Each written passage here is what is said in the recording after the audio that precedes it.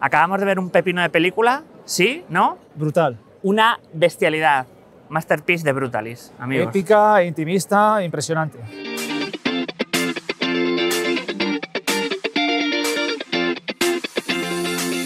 Madre del Amor Hermoso de Brutalis, acabamos de ver en la Seminci aquí en Valladolid.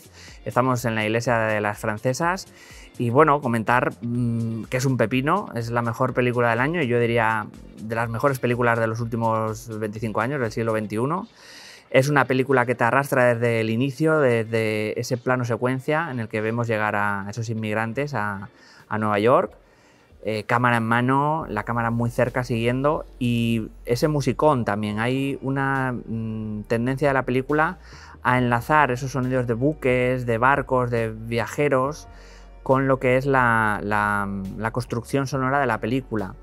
Una película en la que los actores van a brillar, están absolutamente inconmensurables Adrian Brody y Felicity Jones, también Guy Pearce y una película donde vamos a diferenciar eh, dos partes. Una primera parte vamos a decir sobre el sueño americano, sobre la construcción eh, del individuo, vamos a decir, y en la que el personaje de Adrien Brody tiene pues, sobre todo una relación con primero un primo que tiene, una familia, eh, que digamos como que lo acoge y después vamos a ver casi más de dos tercios de la película la relación que tiene con un magnate con una persona de dinero, el personaje de Guy Pearce, que le encomienda hacer eh, una construcción, eh, vamos a decir, de un proyecto megalómano, ¿no? Súper super enorme. Vamos a encontrar esa primera parte, vamos a decir, de auge y también de vivir el sueño americano, de la construcción propia del individuo, de la supervivencia y eh, después vamos a ver una segunda parte más emocional, más sobre la familia y que también entra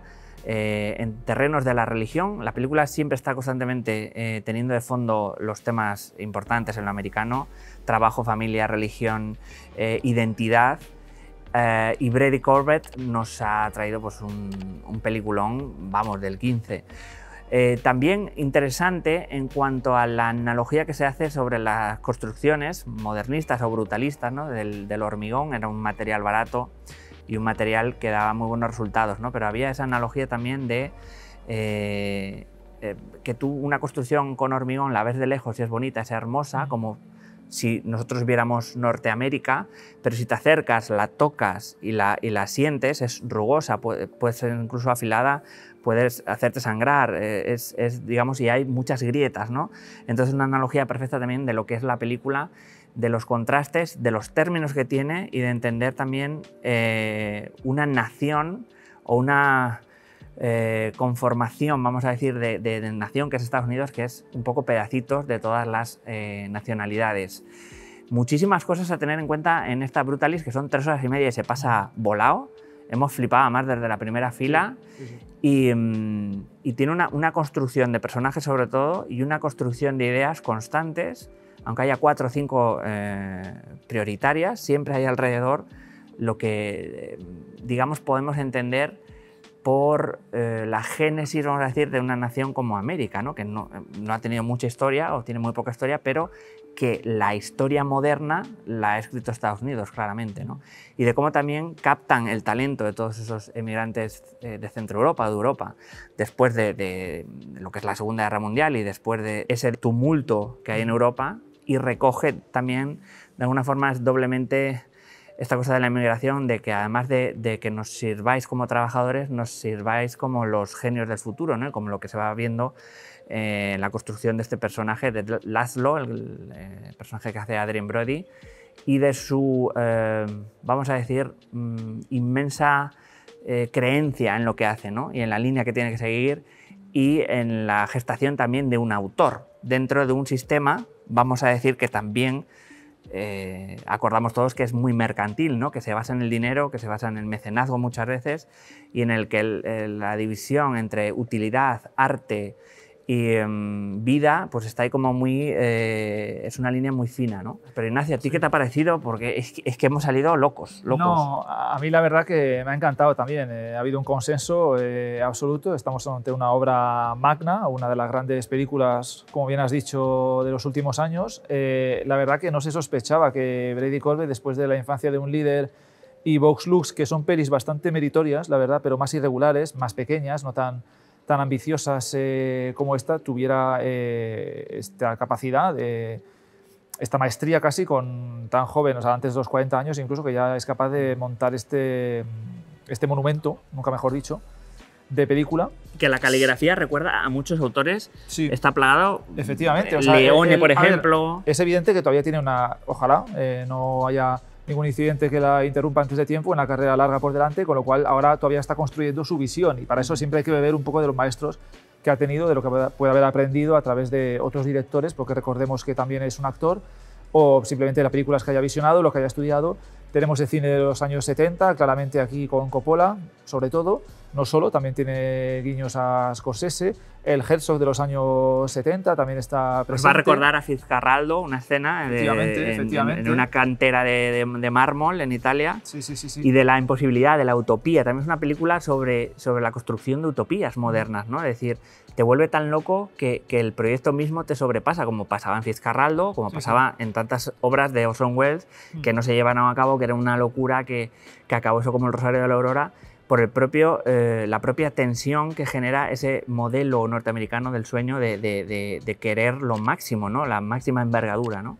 Claro, a ver, eh, al final Estados Unidos, como bien ha dicho John, se construye a base de las aportaciones de Europa y la película siempre está en esa dualidad entre el protagonista húngaro, inmigrante, justo después de la Segunda Guerra Mundial, judío además, también con ese bagaje, que llega a Estados Unidos y es acogido por el norteamericano hecho a sí mismo, entre comillas, aunque también con una herencia familiar, que además también juega con la perversión de la familia, de la burguesía, al final un mundo cerrado en, sí mismo, también hay una apunte de lucha de, clases, bueno, juega con muchos temas la película, pero sobre todo parte de esa dualidad entre lo europeo y lo norteamericano, y eso se muestra en las influencias, algunas de las cuales hemos mencionado, podrían citarse otras más recientes, el Paul Thomas Anderson también hay, hay guiños eh, claros. Eh, William Wyler, yo he visto también. también. más clásicos. La película es clásica, clásica, y moderna, sabe lo que, lo que es, eh, es consciente de que no es original, no es efectivamente un, algo que parte de la nada, pero sí que es rompedora en cuanto a esas influencias, cómo las junta.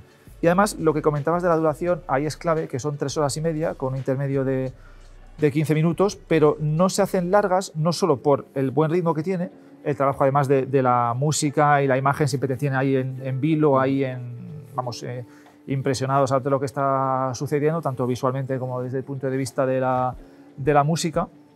Pero además lo bueno que tiene es que la extensión narrativa no eh, provoca una dispersión de la historia, sino que está muy ceñida con tres personajes principales, como bien se ha explicado. El protagonista es el que al final eh, lleva el peso, ¿vale? está presente en prácticamente todas las, las, escenas y está increíble, Adrien Brody, pero sí que centra muy bien el foco, tanto desde el punto de vista de los personajes como desde el punto de vista de la historia, como de los temas, porque al final parece que son muchos temas, que si religión, historia, eh, guerra, desarrollo social, económico Integración. de un país, pero está todo muy bien integrado en la metáfora de la arquitectura como la propia arquitectura física y la arquitectura emocional, la progresión del personaje, el paso de los años, eh, son pocas localizaciones al final, o sea, es una obra grande, épica, pero también íntima, porque al final es un drama personal.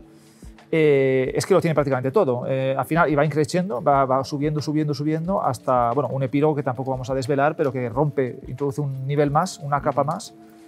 Y vamos, me ha encantado desde el punto de vista técnico, desde el punto de vista dramático, de todos los apartados estéticos de la película. Es un trabajo increíble. También comentar sobre el arrojo de la película, eh, las escenas que hay en la que están eh, consumiendo opio y cómo plantea el escenario un poco de esa Norteamérica y de lo que va a ser eh, la sociedad futura en el que nos drogamos para evadirnos, ¿no? debido a todo el peso con el trabajo, los dilemas, los sufrimientos, los dolores, digamos, modernos, ¿cómo no podemos escapar o cuál es el precio a pagar también por ese nivel de exigencia. ¿no? Entonces está muy bien tratado, la peli va con todo en ese retrato también de, la necesidad también de evadirse. Incluso hay una escena muy chula entre ellos dos, de sexo con, después de haber tomado opio, o sea, es, increíble, lisérgica. Poéticas, efectivamente, a ver, hay una sordidez ahí, pero no se recrea en ello y además el consumo de drogas ahí está totalmente justificado eh, cuadra totalmente con el desarrollo del, personaje. y, lo, lo, hace con, con gusto, no, con gusto, sentido narrativo en ese momento, aporta una, una dimensión añadida también al, al, dolor que comparten y al alivio al mismo tiempo los dos personajes principales. La película es un tratado de la dignidad, claramente. Efectivamente, el personaje de Adrien Brody, con todo lo que ha sufrido, aún así mantiene pues, su compostura, lucha, persevera, eh, se sobrepone a cualquier tipo de, bueno, o intenta sobreponerse a cualquier tipo de conflicto y su esposa también, o sea, es, una, es un pueblo al final que se supera a sí mismo y sin embargo, por oposición, la familia Van Buren, la de los burgueses que les acogen y tal, que lo tienen todo prácticamente, sobre todo los niños, son niños mimados, pues eh, carecen de esa dignidad pese a tener todo a favor. Incluso les parece un juego, ¿no? Cuando juegan con la dignidad De, alguien que se ha hecho a sí mismo, como es el caso de él y de, su familia, ¿no? Totalmente. Hay varias escenas que se te caen el alma en los pies de, qué, fácil o qué juego les parece a los que lo tienen todo, ¿no? Y qué eh, contraste y qué difícil a los que no han tenido nunca nada y que se quieren construir un futuro. También eh, tema que enlaza eh, con esta cosa de la construcción de las catedrales, del destino un poco. Algo en ese término se dice hacia el final y es eso, ¿no? lo americano, ¿no? La, la, cultura pop, la cultura moderna se basa en eh, entender las, eh, lo que, las culturas del futuro un poco, ¿no? Y lo que es la sociedad actual desde un reflejo en los años 50 y 60, ¿no? que, es como se construye la sociedad casi de bienestar de, ahora. ¿no? Sí, la película al final recordemos que tiene un presupuesto de 6 millones de dólares, eh, no se nota, o sea, parece que ha costado mucho más. mucho más hacerla. Es una película con una dirección de campanillas, o sea, yo los hablaba con los compañeros desde Pozos de Ambición, quizás no veía algo con tanta fuerza, o sea, algo, una, película que va a trascender, una película que, casi es un, clásico instantáneo, yo diría. Esto es como muy complicado. y, es una película que le deben caer todos los premios porque está muy por encima de las demás. Es una experiencia es una película que contiene eso, como decíamos, de lo mejor de Leone, ¿no? de lo humano, de lo... es una película muy descarnada, con mucha emotividad, con escenas que se te cae, o sea, se, te cae todo. Y sobre todo, por ejemplo, la escena de. Me estoy acordando, la de que se encuentra con Felicity Jones en la estación de tren, cómo se toca en la cara, es, de una emoción que es que, es, que no, es increíble. Lo que hace muy bien es que además con las tres horas y media que tiene, pues podría mostrar muchas cosas, pero sabe lo que mostrar y lo que no. No hay flashbacks innecesarios, ya sabemos el trauma por el que, pase, por el que pasa el protagonista, es un superviviente de un campo de concentración, eso no hace falta, empieza justo después. Entonces ya sabemos, porque ya hemos leído un montón, hemos visto un montón de testimonios de todo esto, ya sabemos lo que arrastra este personaje y toda esa herida que tiene, ese dolor que tiene dentro, eh, no hace falta mostrarlo para que ya sepamos que lo tiene incorporado, lucha contra ello, pero al mismo tiempo no puede superarlo, bueno, tiene una serie de problemas luego también con la drogadicción, etcétera. Entonces, y Adrien Brody con ese, pues, con ese personaje que le regala Brady Corbett otorga una de sus mejores interpretaciones, esta de Oscar también, totalmente. Una película buena, una película compleja, una película que hará época, yo, yo creo. ¿eh? No, es sórdida la película, pese a lo que cuenta, es bastante... Pero acaba viendo escenas sórdidas. Hay escenas sórdidas, efectivamente, pero no, no es un dramón o sea, eh, tiene cierto optimismo incluso. Una peli extrañamente romántica, además. Es una pisonadora de película. Amigos, peliculón del 15, no os la podéis perder. Absoluta masterpiece. Y hay que verla en pantalla grande. Impresionante. Recordar que nos podéis seguir en redes, Instagram, Twitter y suscribiros al canal en YouTube. Nos vemos.